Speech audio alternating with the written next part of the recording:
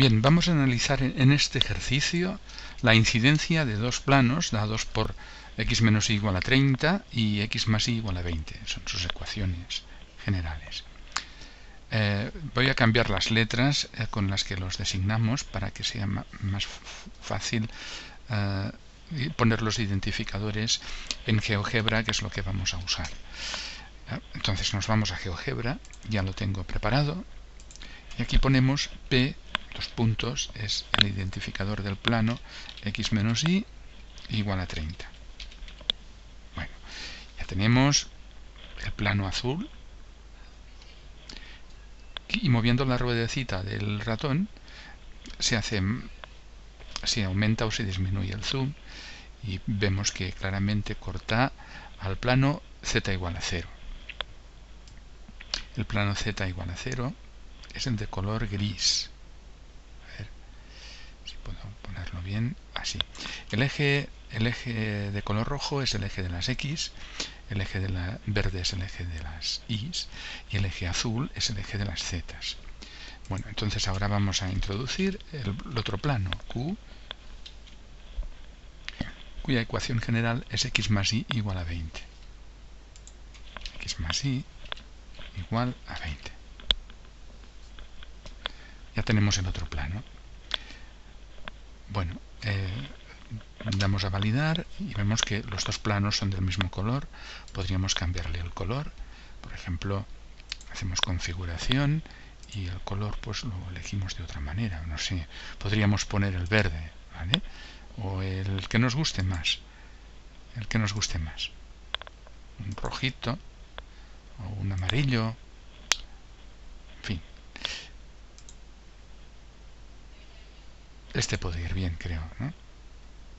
así. Que se vean bien, se distingan un plano del otro. Este va bien. Entonces cerramos la pantalla de configuración y ahora nuestro interés es en ver cuál es la intersección de estos dos planos. Ya se ve cuál es la intersección. Es esta recta que es paralela al eje de las zetas. Pero sobre todo lo que vamos a hacer es determinar la ecuación del, resultado de la intersección, que es esta recta, como he dicho. Para ello, pulsamos sobre el icono que tiene que tiene las figuras geométricas ahí arriba donde está el cursor y se despliega un conjunto de herramientas. El cono con un plano que lo corta eh, representa mm, las herramientas de intersección de objetos.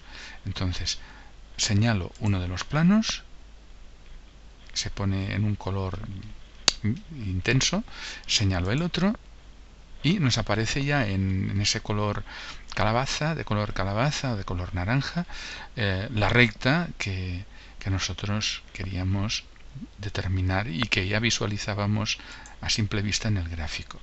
Lo interesante de esto es que en, el, en la ventana de resultados aparecen las ecuaciones de esta recta de color naranja, que es el resultado, como digo, en forma paramétrica. Es 25 menos 5, 0. Voy a volver ahora a la... Vamos a llamarle R. Eh, R es la intersección de los planos P Y entonces esta R según lo que vemos en GeoGebra. Ya sabemos que podemos prescindir de GeoGebra y hacerlo a mano, pero la idea es que lo veáis ahora y os animéis a usar GeoGebra. Eh, simplemente copiaremos lo que vemos aquí. Eh, X y Z, esto es lo que representa la X mayúscula en GeoGebra, el, un punto cualquiera de la recta. Pues es igual a 25 menos 5, 0, más un vector con un parámetro, más lambda por el vector 0, 0, 0, 0, 2. Esta es la ecuación vectorial de la recta resultante. Podríamos ponerla también así. x es 25 y más 0 por lambda, que es 0, y es igual a menos 5 más 0 por lambda y z es igual a 0 más 2 lambda. Bueno, esto es la recta R en forma paramétrica. Esto es 0. 0 eh, eh, por lambda es 0. También, es decir, podríamos ponerlo así. X igual a 25, y igual a menos 5 y z igual a 2 lambda.